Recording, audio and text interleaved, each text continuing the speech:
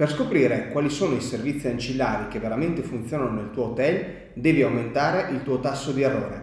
Sì, devi provare più volte a vendere i servizi ancillari oppure crearne di nuovi e metterli a test, magari facendo anche degli A-B test, cercando appunto delle varianti dello stesso servizio.